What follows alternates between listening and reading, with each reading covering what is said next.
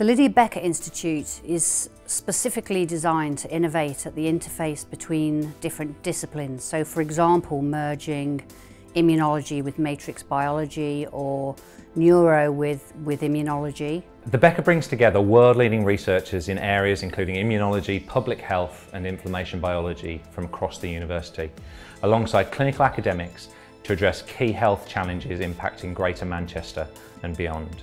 The Lydia Becker Institute embraces complexity, studying immunology in the physical and chemical tissue context, in health and disease, in the context of different environments, and as single entities or a combination of different diseases. Our structure is agile, meaning we can divert our attention rapidly to what is needed in that moment. This agility is allowing Becker researchers to provide important new understanding across diseases ranging from COVID-19 to certain types of cancer and stroke.